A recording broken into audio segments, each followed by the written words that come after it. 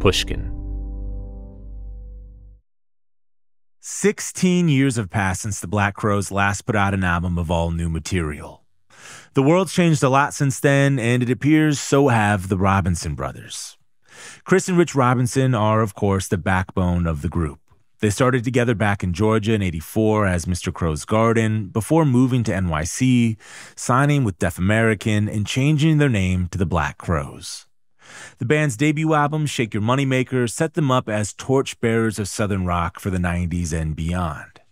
As you'll hear in our conversation, the brothers Robinson have had a competitive relationship for a long time.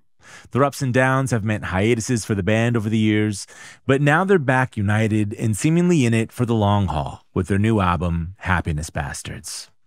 On today's episode, I talked to Chris Robinson about his growing up in Georgia with Rich, their dad's rockabilly career, his listening routine that includes Sudanese and Sufi music, and how his road habits have changed from indulging in champagne and other substances to reading Herman Melville. This is Broken Record, liner notes for the digital age. I'm Justin Richmond. Here's my conversation with Chris Robinson of the Black Crowes. Is that a Gun Club like the band shirt that you got on? Yeah, yeah, yeah. Oh, hell yeah. I love Gun Club, man. Jeffrey Lee Pierce, one of my faves. And it's funny because, you know, when we started, people would always say we sounded like, and we did. We had, you know, there was the jangle sort of indie pop thing, REM, of course, being the purveyors of that, but Let's Active and the DBs, and then bands from California like Game Theory. We kind of were into like this kind of jangly um, 60s inspired. But we really sounded early days a lot like the Gun Club, you know, because Gun Club and X are very interesting to me in the like early punk scene here in Los Angeles because they were the well, I guess you could put the blasters and the Plugz in there too Blasters are from SF though, right? Oh, Blasters are a LA band too. Yeah. Are they? Oh, okay, cool. They had those kind of rootsy things, you know? And it would yeah. be really early on that we would think like, okay, well, Jeffrey Lee Pierce is like a punk icon, but he's plays a Robert Johnson song on the first record, you know. I mean, it doesn't yeah. sound like Robert Johnson, but needless to say, he found great inspiration and the mythology and the imagery and the vibration of like the blues and stuff, which other punk bands really didn't. Whatever music is happening in LA, there's always some subset of it that countrifies it. You know, it's like even with the Byrds, like Sweetheart of the Rodeo, like all that stuff, like the Byrds got into that. And, you know, I don't know, you could even feel that with Buffalo Springfield. Or, I mean, I know like Neil's from Canada or whatnot, but they're making music here, you know? Of course, of course. Well, I mean, you know, I mean, while that's going on, Tim Buckley's here, and you know what I mean. And while that's going on, you have bands like the Chambers Brothers, and yeah. Eric Burdon leaves the Animals, and a Northern English white band playing blues music, and then he's the lead singer of War. Of I War, and War is like such a quintessential L.A. Long Beach, in fact, group. You know, I mean, I think obviously their subsequent most famous records don't include Eric Burdon. Yeah. And it's funny, it also just goes to show how that's just how music is, isn't it? You know what I mean? Yeah. I mean, I guess you obviously you can make examples of things that seem heavy handed or things that don't contain a certain authenticity, but I mean, that was a big deal when I, you know, talking about growing up in a band, being from Atlanta, being like in a arguably the most progressive city in terms of race relations in if not America and maybe globally. That's interesting. It probably has to be. I mean, you might. I, I might have been tempted to say New Orleans, but I think when you kind of look at the musical legacy of Atlanta over the last I mean, New Orleans most definitely, but Atlanta's different because of the black universities. Yeah. Like kind of concentrated there in yeah. Atlanta, having Maynard Jackson as the first black mayor, the first black police chief, first black police force in the deep south. Yeah. When I first landed in Atlanta, I got to say, coming from LA, because I, I grew up in LA, when I first landed in Atlanta, I'm in the airport, I'm like, where the where am I? Like, how is the, the whole airport is black? This is crazy. It was the, the weirdest experience for me. Man. funny, that's funny. And as a, I said, I'm a third generation Atlantan, and I don't really make the connection of being like I'm I'm a southern person, but my connection is with Atlanta. Yeah. And so, you know, it's funny because Maynard Jackson's the guy who, when Hartsfield International Airport becomes an international airport, he's the one who's like, we're not doing anything unless black business owners are recognized and have a piece in this and what that can mean for the community. Something very subtle like that still reverberates, I think. And besides the culture, because you start to see Atlanta also be a, a, city, you know, famous for the musicians and the hip hop and the athletes that all move there. But the reason that becomes attractive is because of decisions like that and the, the hard line that someone like Maynard Jackson would take and how Atlanta had been pried open. Of course, having the great Reverend be from there, you know, gives Atlanta a different perspective. But I know, it's a unique place in that way. And it's funny, like I speak on it from the past because I really left first check I got in the Black Crowes, I moved to New York. Being in a band to me was like, you know, shooting an arrow over the mountain. Like, just I, I wanted to get out in the world. Had you been to New York before you moved there? Yeah, yeah. Actually, you know, our dad, Rich and I's dad, was a singer. He had a top 40 rock and roll hit in the 50s called Boom a Dip Dip. You can check it out on Spotify. I've listened to some of that stuff. It's, stuff. it's, it's really Robinson. good, man. It's really good. yeah, it's a good song. It's like really happening. And went to New York, and he was like, you know, into the theater and music and acting and dance, you know. So he wanted that too at a certain time in his life. And he was in New York. And um, and it's funny, my mom was a flight attendant for the old Eastern Airlines and you know, it's funny. She told me, she goes, "Oh, I served Dr. King many times on flights out of Atlanta." Wow. Which I always like really blew my mind as a kid. You know. Of course you did. I would make. I mean, how many flights out of Atlanta must you have taken? You know? Yeah, was, I mean, all the time. You yeah. know. You yeah. know. So I moved to New York first, and I still love New York. And some of my deepest connections and friendships are there. My wife and I just got back from there yesterday. But I came to Los Angeles and I don't know, it was farther away. From Georgia? Yeah, from everything. I mean, yeah. California as an idea, California, later I would get to know far more about this state. And I lived up north for six years and I was in this little hippie band. And we started, we did nine weeks just up and down California in a van, playing all the little beach towns and hippie towns. And, you know, I got a real appreciation for do you, do you remember Huell Howser? Oh, come on, man. California's gold, baby. I was like the psychedelic Huell Howser. You know what I mean? You know, Huell was always like, so this is an Adobe. Wow. He was amazed about everything, too. He's like, so this is a bowl of menudo. I love Huell Howser. R.I.P. The late great, man. The late great Huell Howser, man. I love, and you know what? I th- he was always so excited. He yeah. saw every mission from San Diego to like, you know, the, the Oregon border. So that is the mission. You're like so excited. Everything was ecstatic to him. It was crazy. It was so that was that was a funny show to watch, man. I loved it. When I moved here, I was like, what is this? This is fantastic. I also am lucky that when I'm I'm so I moved here in 91, nine, early 92. That was the golden age of public television yeah. I mean, the weirdest, weirdest of the weird stuff would come on TV, man, on the couple of public stations on your cable, like channel six and channel 14 or whatever. The most unimaginably, I mean, obviously, like Tim and Eric. I don't know if you ever got into Tim and oh, Eric. Yeah, oh, yeah. Hilarious. So Tim and Eric like take the inspiration of that into their twisted world for the series, yeah. which is still some of my favorite stuff. You don't need a Chinese massage, you need an Italian massage. It was fantastic. You know what I mean? And and you know the other thing about things that were really I've always been interested in outsider culture, you know, and those would be like driven by like this, but but because it's Hollywood, it made it even weirder. Like I'm on TV now, I'm famous too. You know what I mean? It's yeah. kind of predated the psychoses that has become social media. You know.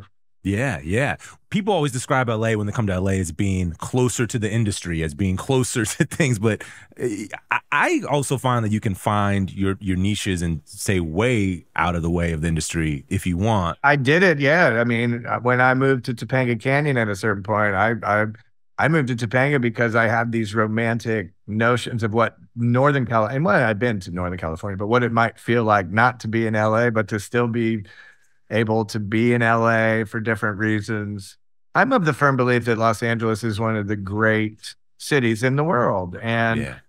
which is also unique because of how new this city is comparatively.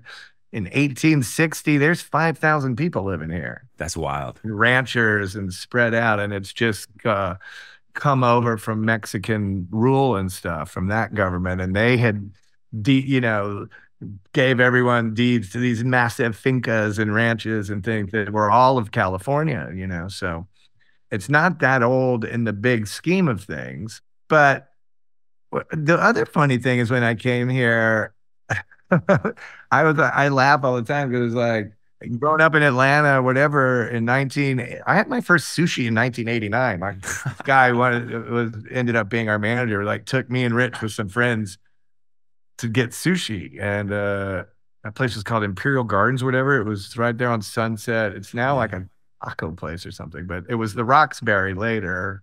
But anyway, we're sitting there, and like, I, of course, I know what it is, but I've you know Stan and Nancy Robinson in Atlanta, we didn't do sushi. You know what I mean? Like, I remember being 16 and telling my dad, like, coming downstairs one day, I was like, why have we never had Indian food? My dad was like, you're right. We should go get it. And I was like, we all drove to the one Indian restaurant, you know, and it was amazing. Wow. wow. But when I'm here in 1989, I'm still working on the first album and I'm a kid from Atlanta but the cool thing is, it's a mentality. You get farther away from where you come from. And like anything else, you figure out what's delicious about it and what's special about it. And now it has a place in your culinary like thing Yeah. that like tonight's sushi, we want to go and you know what I mean? And then you Yeah. can enjoy it on another level. But there was one time where you're, uh, you know, I come to LA, I don't know anything about anything, and I don't even know what this is. How far removed from Atlanta do you feel now? Like, do you feel like an Atlantan? I mean, not especially. And none of that is to be taken as if Atlanta has feelings. I do love Atlanta more than ever, but it's also, I like the remnants of the Atlanta that I remembered. So when you go back, you don't see the. I mean, man, it's changed. There was this thing on Peachtree called the Darlington Apartments, and there used to have this digital thing, and it would be like two million nine hundred nine you know what I mean? Thousand, you know, and it, it was the population, and it, Wow. and it got older with the population sign. It got bigger, and it went to three million in 1990. Wow. You know, we used to hang around this monthly thing called the Mud Shack at this after hours Mexican burrito place, and it was a poetry reading, and just the poet would get on stage like, "I live in a city of three million people," as if it was like you know this Atlanta, this. It's almost eight million people now. Yeah, it's yeah, right. That sounds about right. It's huge. So when I'm there, I mean, of course I love it, but most, a lot of the Atlanta, you know, the house where we used to rehearse and have parties is now the Federal Reserve. The club that we based all our rock and roll dreams and mythology on is now at a, you know, place where people go get stitches or whatever. You know what I mean? Like all of that kind of stuff from back in the 80s whenever the world was new and music was all our career was ahead of us. That's all kind of gone Yeah. you can see the the skeleton of it. You know what I mean? Yeah. We'll come back with more of my interview with Chris Robinson after this quick break. We're back with Chris Robinson. Do you get excited to tour these days? Like, can you still get excited about it? I do, I do. It was funny. I've done a couple of interviews for this project, and I'm like shocked that the people have said, "You're the first musician who says they still find inspiration doing what you do." And being on tour, they say is so boring. I'm like, I've never lost the dream. And again, I've never been bored. You know what I mean? Even as a kid, like if my mom and dad go to your room, I'd be like, I'm amazing. That's all I want to do. All my Yeah. records are in there. The books I'm reading are in there. I can draw. I can dream. You know what I mean? Daydream. I mean, I was somewhere there's a permanent record of me, and all it says is prone to daydreaming. Not very good at math. yeah, right. But I, I was saying, I mean, it's just the way it is. I, I mean, is it tedious sometimes? Fuck yes. I'm 57 now. Airports fucking suck. Yeah. Uh, not every gig is a magical experience, but you never know who you're going to meet. And it Yeah. could be anyone. It could be the Guyanese Uber driver who picks you up in St. Louis who's fucking hilarious, an amazing, soulful person who's left a life behind to try to eke out something better and like is so brave and courageous. And, you know, you and you're only with this person eight minutes from the airport or whatever. And you just two people in the world laughing in a car, you know, but that little thing, that doesn't even necessarily have to be a part of the narrative. It just has to be a part of that you still believe that there's dynamic in in meeting people and talking and laughing and sometimes yeah. crying but i'm just naive enough to still see it as in the same way that i wanted i picked music on a lot of levels because i knew it was the one thing that i would travel all the time. Yeah. And then you set up your little thing and then you put your vibes out there you know it is pretty rare. I, I, feel like listening to you talk, the only other person who has had a level of success that you've had and tours as much as you do and travels as much as you do that seems to still love it. I got lucky. I met Quincy Jones in Havana maybe 10 years ago. Wow. And the joy he has to like travel and just talk to anybody. It's like, he's like, yeah, he'll tell Sinatra stories and he'll tell the story about like the cab driver in like Memphis. And you're just like, he, everything is like new and fun and interesting in every person and everything and every sound and every there's a particular joy that you don't find in a lot of a lot of people. Like i said i i understand and you know you get older. It also helps in my life that after all the rock and roll and all the experiences that i found camille my wife because i found someone who she understands that some of that is problematic and some of it's a pain in the ass and some of it's like can't we just be normal do normal something? And like by the way we can talk about that and uh, do our best but then she also realizes like she's an artist and she's a pisces queen moonstone child out in the world you know who wants to feel these things too and you know, my thing is the pandemic was such a fucking head trip. Yeah. Personally, I didn't really find it creative. I, I found it stifling, but we were lucky enough to live out in the wilds of West Marin and then we were in Southwest Colorado. Amazing. Yeah, which was really, really hell. But one thing I thought I would really flip out on was it was the first time since I was basically a teenager where I wasn't working and touring and singing and playing and doing the whole spiel. And you know what? It was rad. Oh, shit, really? You liked it? Wow, it, I, my head didn't fall off. You know, the our lives didn't, you know, disintegrate into nothing. It was nice. I had time for a lot of other things, and it's funny. The travel part of it I was just talking to my manager, Mark, last night about how at a certain point it would be nice to bow out from performing the way we perform before I can't hmm. because mm. I love the travel and we fit in the things that we want to, but it's different to be in a place where, you know, we're going to Paris. I want to see my friends. I know all the restaurants I want to go to. I know all the things I want to do. Ah, but you got to leave in two days. Yeah, yeah, yeah. And you have a show when I was a kid, I didn't care. We would just party, go out, champagne, drugs, this, that, two days, do the gig, ah, go back, do it again, do the gig, ah, you know, like it's all one thing. it wasn't. Well, when you're young, you can do it. You know what I mean? Yeah. I don't feel that now. I'm really happy being in the Black Crowes and really fulfilling and satisfying and gratifying.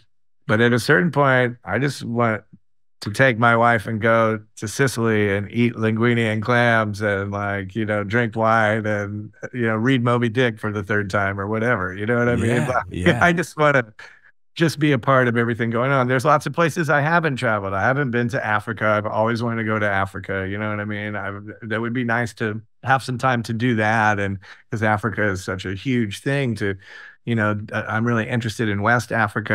I'd like to go to North Africa. It'd be cool to see East Africa. It'd be cool. You know what I mean? What, what interests you in West Africa? I don't know. I think maybe it has something to do just with the, I mean, I love North African music, but there's, you know, a lot of those West African music could be because of the horrors of mankind and the horrors of the slave trade. Yeah. Human beings found a way somehow through the vileness of that to communicate and share things in art and music, cuisine. Yeah. So many African parts of, especially in the deep south, and people wouldn't, they don't even know they're, uh, they're, they're yep. undereducated anyway. But with these things, you know, it's like, oh, every Southern person loves to eat fried okra, but okra came over from Africa, you know? Right, right, and right. Before that, okra came from India to Africa. So just dumb things like that plants and fruits, vegetables, natural things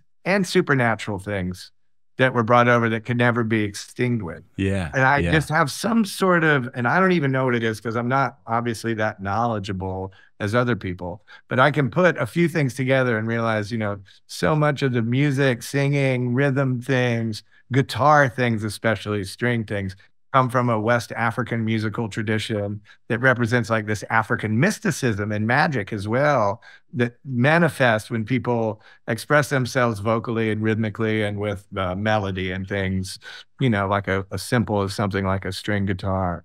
And that is something that would draw me there first. Amazing. I see that in a first person and see what it feels like for me as a real outsider. Yeah outsider culture is important to me just because of whether my dyslexia or just whatever my tastes and my where I would find the things in life that are interesting, that make me happy, things that I can understand or help me for things that I don't understand to understand, you know? So a lot of that you have to kind of just vibe out and viscerally find. And I would be curious to see what it feels like. Yeah. Wow, we've gone from like psychedelic Huell Howser to like psychedelic like Anthony Bourdain or some shit. we've gone global now. Call my agent. I'm down to do this job.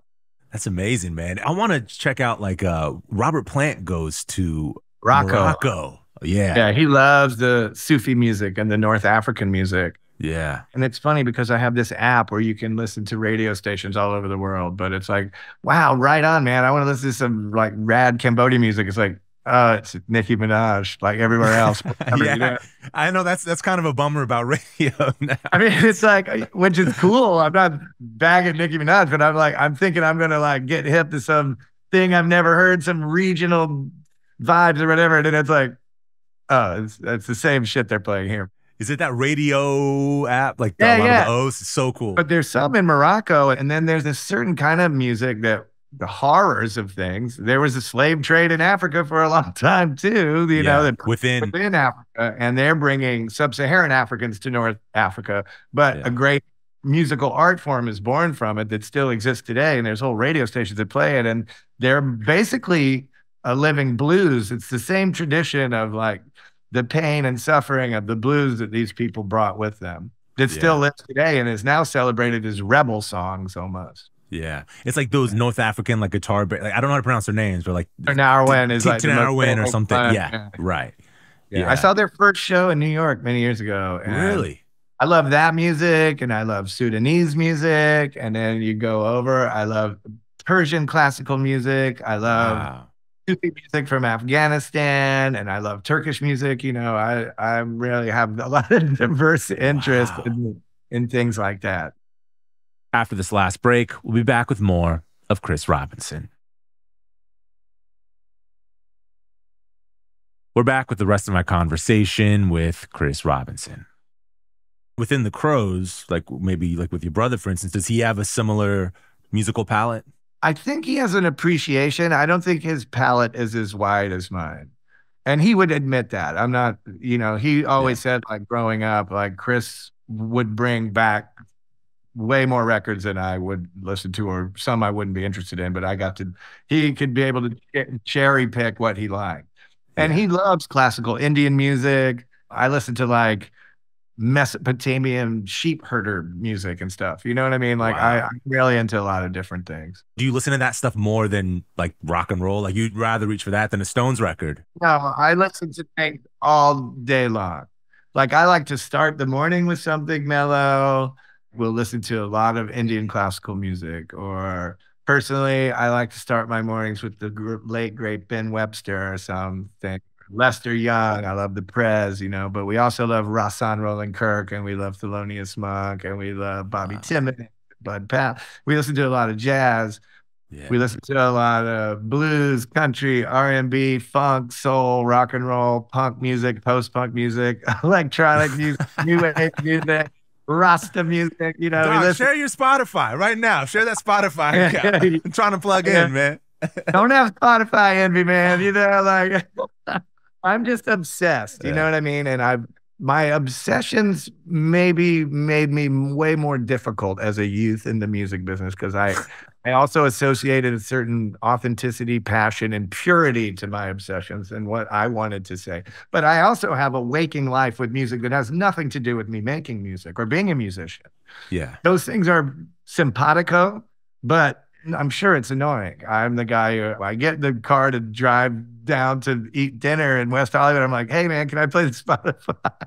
oh yeah, in the car, dude. I got us kicked out of a sushi spot one time because I asked them to change the, the music. Wow, and then they opened the same sushi spot across town. So when we tried to go there a year and a half later, turns same lady was serving us. She's like, "You look familiar." I was like, "I don't know, I don't know." No, no, no, I wasn't. So did you ask me to turn off the music one time? I was like, "Nah, no, no, no, no. It must have been my brother. I don't know. It wasn't me." Like, hey, DJ yeah. Soy Sauce, you're not coming in here. You know? yeah, they weren't happy, man. I was like, just change this. I could tell it wasn't like pre-pro. It's like you're, it's on you're on Sirius or some shit. Just just change the station. That's all I'm asking. I'm just always, you know what I mean? I've just been adventurous and things I can access what makes things interesting to me. But I do that with with a lot of art. I do that not with music, but with literature, cinema, most definitely, comedy as well. So is all of that going through your mind as you're writing lyrics for the Crowes or for your other groups? I imagine, yeah, I imagine it's something. It's all in there, but I think when it's time to focus, like on writing a lyric or whatever, I've written songs with other people. I've written many songs on my own. The thing that is the Black Crowes is Rich and I's contribution together. Yeah. You know, Rich, whatever he's coming from, will play me something. There's a lot of psychic energy involved in it as well. And music is a great conduit to open those kind of psychic channels. And do you go into it with that intention? Like, do you have to set out to do that or does it happen? I think there's other musicians who can do the fucking math and know all the shit and they do another thing. I've only ever been able to access it this way. Got it. This is my process because of however, because we didn't learn music. We don't know shit about music. I don't read music. Rich doesn't read music. Hmm. but we know what it feels like and we know what sounds right. And then you keep doing that. Of course, through that, your vocabulary gets bigger, but we maybe are using different words than people who are more knowledgeable about the inner workings and mathematics, the arithmetic of music. Yeah. Is something yeah. that has escaped us. But I think it's also in our, that makes it folk and that makes, you know what I mean? There's some sort of, that's why we look at look at it more and like it's kind of magic when a song happens out of the blue. One minute there's nothing. One little thing like this, and then I get an idea, and then that changes what Rich is doing. And then it's all dictated by whatever the vibe is that Rich plays me. There's an emotional ingredient to what he plays me. Like our probably our most famous song is She Talks to Angels. He wrote that song. He was very young with the riff and then we probably didn't get to it till like a year later when, but we would be playing things around mom and dad's house. Because he was like 17 when he wrote that. Yeah, 17. I would be 19. So there's something about the way he pulls that first that would just put me in a place to write a song with that kind of dark, romantic, melancholy imagery. Yeah. But we do that today, and we do that, I think, especially if we get around to like where we're going right now or with this happiness bastards record and stuff i mean i think that's that's exactly what we've done with this. I mean there's a lot more rock and roll on it. There's a lot more water under the bridge. We've lived a lot. We've personally i'm one of those people and i have two children and we want everything to be the best but i'm also not afraid of adversity because I don't think you should be afraid of something that you have to find acceptance with. You know what I mean? Because it doesn't matter who you are, what you do. If you do it to yourself, if someone's doing it to you, if you have the means, if you don't have the means, no one escapes adversity. And it changes you know what I mean, how we deal with it the great energy and power of youth and where we came from in rock and roll was the anger, yeah. the fuck you part of it. Yeah. Even with each other. yeah. Yeah. But that yeah. boils into that. Yeah. I mean, it's like live fire, you know, and like, but it's also a great, you know, if you can get that into dude, and you could get in the studio and get it on there. You know, we weren't clever enough to do the math. We were only clever enough to wear our emotions on our sleeves. Did your parents pick up on your guys' tension? I, yes. I mean, fuck. I, I mean, even more so, probably the older we would get. But they weren't around when it was like, for some reason, you know, we he had his own bedroom. I had my own bedroom, and we lived in the suburbs. And I had like a twin bed and a desk, stereo, whatever. Rich had like a queen size bed in his room for some reason. I don't know why he ever got that. But it was funny because when we were kids, and it would be like, if we started getting annoyed, we'd have this game where we'd both get on the bed, and he'd be like, "I'm Mad Max," and I'm like, "I'm Snake Plissken," and then we would like see who could who would win in a fight, Mad Max or Snake Plissken? And like whoever could like fucking throw the other one off the bed was like the winner. Listen, man, Snake always wins in that. Dude, I was Snake Plis- yeah, got a patch on the eye, fucking cool outfit. I was like, it's my motherfucker there, you know? So, yeah. But like dumb shit like that. And then we've said it before, but we fought, brothers fight, but we would never punch each other in the face. We would hit each other, body shots, throw shit at each other, try to strangle each other. Nothing yeah. from the neck up. It was weird. I don't know. That rule always applied. Unspoken, unwritten, just yeah, existed. No yeah. Punch. I don't know. As if that like makes it like worse than all the other cruel shit. I love it, man. I love it. Yeah, Snake doesn't need muscles though. Just being a pure badass is sometimes enough. Yeah, they couldn't stop him. You know what I mean? The crazies come out from under the street. He gets away from all of them. D- d- didn't matter. Great soundtrack. Great soundtrack to that. Amazing soundtrack. John Carpenter is always. My favorite one is a movie he made called, uh, is it called The Prince of Darkness? You know that movie? I don't know that one. Part of the trilogy he did that I, I think that Escape from New York, Prince of Darkness, and maybe They See or whatever. I think those are like a trilogy he made. But Prince of Darkness is a really cool movie, like in this weird church in Oakland or whatever, is like where evil is and like this liquid container. And like these people find it's really deep, man. But the Damn. soundtrack to that one's real. I listen to it all the time. I missed that one. I like I like Assault on Precinct uh, 13. That soundtrack's amazing. amazing. Very far ahead of his time, actually. Way ahead of his time. It sounds like what's, you know, like a lot of like electronic composers would now go for. Is he from Kentucky? I think he originally was from Kentucky. It's like if Tangerine Dream were from Kentucky. Yeah. Yeah, right. If Tangerine Dream is from Kentucky, maybe they just call that like pineapple upside down cake dream or something. I don't know. How do you feel about the new record? I think it sounds amazing. Yeah, we're very happy. I think we were really focused on what we wanted the record to be touring the last few years and doing the Shake Your Moneymaker show, at first I I was a little bit I had a little trepidation about it just because I was like, oh, isn't that what other bands kind of get into sometimes is playing their most popular record or whatever. Yeah. But once I thought about it and I thought, yo, don't think about it, just do it. This is mm-hmm. important mm. record to you know, this is where it all begins for us. And let's revisit it. Let's see what happens if we remove ourselves from the way of thinking before. You know, why did I think that was dumb? Maybe it's not dumb. Maybe there's something there. And I think part of where the Black Crowes are today is getting out of our way and, you know, don't think it, do it. And then you'll have more information about what works and what doesn't. And it was fantastic. And that was kind of the impetus to get us to like a real focused, up tempo, rock and roll record that hits all the notes. I think that that we finally can have the perspective to know what the Black Crowes sound like. And to yeah. me, Happiness Bastards is like an arrow pointed towards the future for us of what the Black Crowes could be. And uh, once we work with a guy like Jay Joyce, who produced the record, who's very uh, successful, popular producer. We've never really worked with like a super producer like that. Yeah. And, yeah. you know, we met so many talented people and had so many great conversations. There was just something about Jay. Well, first off, we felt like this guy, not only can we get him, but he can get us. Mm-hmm. And we're incapable of doing something that we don't feel is sincere. Yeah. Sincere to us of what of what we are want want to do and how it sounds. And and of course when he comes on board, he starts to help shape the songs as well. Like, all right, we have a discussion about what I think the record should be. What's the concept in a sense? I mean, you can't do it 100% because it's music and things change. But if that's what we're going for, and so he, you know, we have a bunch of songs, he comes in, tells us what he likes about these songs. We go back, work on some songs, write some new ones. But again, as we're in the studio making the record, we it only took us two and a half weeks to make the record. That's quick. Yeah, yeah. It has that energy. It has to be that way. Like I said, we're not the kind of people to what are we doing, you know? And what are we selling? What do we Mhm. want people to get from Mhm. this? What are we putting out there in the world? And we haven't made a record in a long time. Basically, you gotta like, you know, put your money where your mouth is. And if you're gonna say this is what you are, then it better fucking sound like that.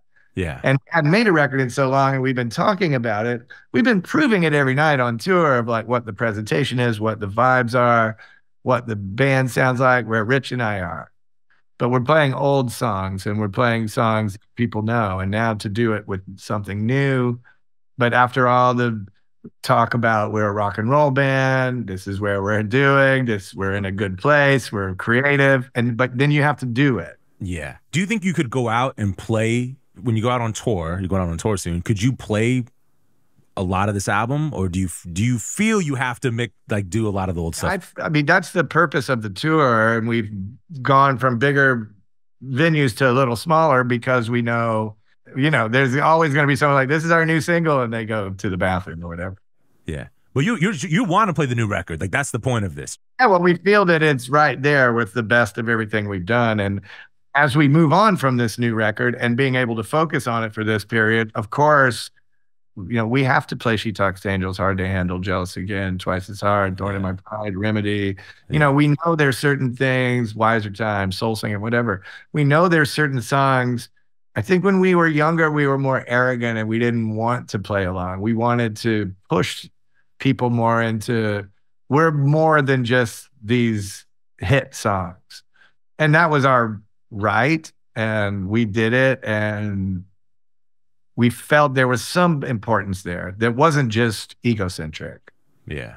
but I think now we realize and that oh we we can we can say the things we want to say, but we also have to respect our audience and know that somebody's gonna be mad if you don't play She Talks to Angels. Yeah. Yeah. Yeah. And by yeah. the way, I look at She Talks to Angels or Hard to Handle or whatever now in such a different light because I realize how special it is to have those songs in your catalog. You know, to yeah. have songs that we play for people, but that after almost soon it'll be getting near 40 years that have been in people's lives and it's important to them too and they and they want to hear it and they want to hear you do the best you can do yeah. and Yeah. make it special and have that relationship with the audience Yeah. You said you feel like this is like an arrow pointing to the future. Like you want to do more Black Crowes music. yeah i you know i mean i know it sounds weird to like you know start wrapping up my 50s and talking about it. But then again you know there's so much about what we are as a band and as artists and as people that looks like one thing on the surface but is not underneath. You know in the same way that it breaks my heart a little bit to hear like people musicians say that they are bored or listless or not inspired. And i'm like well i don't feel that way and this Yeah. record is really even greater sort of proof that uh, I don't have to give up on on my passion, on my creativity. I can put it all in the correct order. Yeah. And we can continue to move on. We don't have the same expectations that you had in 1995 when you made a record, when, you know, you're spending a million and a half dollars on a record and they want you to go out and sell fucking 10 million records and have four hit singles and everybody's trying to do that. And the radio is pumping your songs all day long. And that's, that's how it used to work, kids. Used to, they play your records all the time on the radio and people would go buy your record. That's how it worked. Yeah. So even though that's gone, that doesn't mean we we don't see or feel there is still some importance in that. And I, I don't feel that making albums is that antiquated or archaic or anything. No. You know, people say, you know, you go to fucking Amoeba, man, you're gonna wait in line to pay for your shit. It's not like Yeah. there's tumbleweeds blowing through a record store or something. It's true. There are fewer around, but you know, like yeah. go to Freakbeat in the, in the Valley. There's people in there, Yeah. you know, and they have Yeah. great records in there. It's like anything else. The media doesn't cover it because it would take too much imagination and interest in something that isn't status driven, in Right. something that is collectively uh, more dynamic, that contains more soulful information or something of a cultural reality that's not just reality TV and going to the gym or whatever. Yeah. Yeah. And so you do feel like there's an arrow pointed in the future. You want to make more music, but you mentioned earlier maybe less touring at some point. It's a deposition. I have to give you a I date. I don't know. I'm just You know what I mean? curious. No, I'm just curious. Like it's like I don't know. Like you want- I'm just kidding. just trying to figure out where you're at here. I'm gonna be answered by a grand jury. I'm gonna play this back to you. Gonna say, "Remember, you said it." I'll be like, "Jesus, you your I- fucking Miranda rights, man. Come on. uh, yes, there will come a time. It's not. now. it's not in the near future, but maybe you know. Give me another. Uh, I don't know.